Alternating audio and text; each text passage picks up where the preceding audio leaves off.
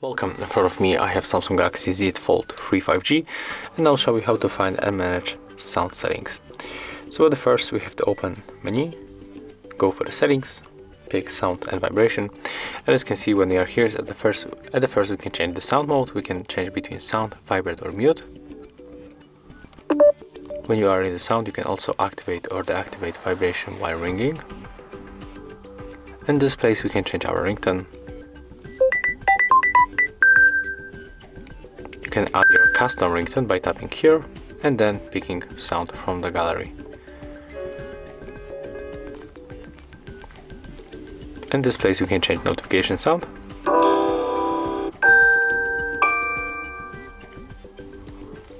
Here we can change system sounds.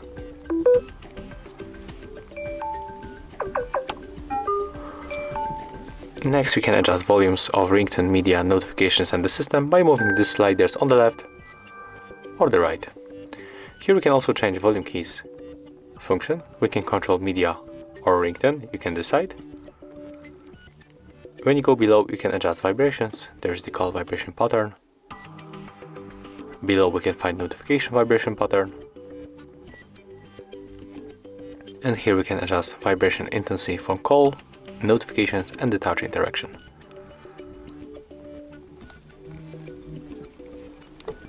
Below we can find system sound and, and vibration controls. There's a lot of things that we can adjust by simply tapping on the switchers.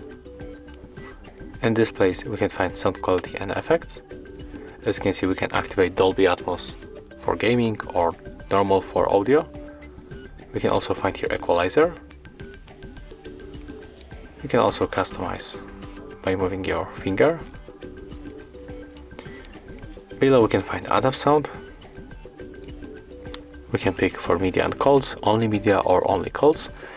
And also we can pick under 13, between 13 and 60 and over 60. We can also make the test. And the last option that we can find is separate app sound.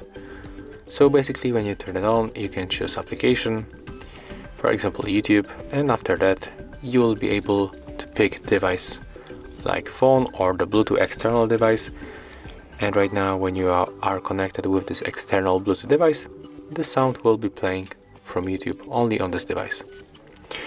After that we can just go back and as you can see that's how it looks. If you find this video helpful, remember to leave a like, comment and subscribe.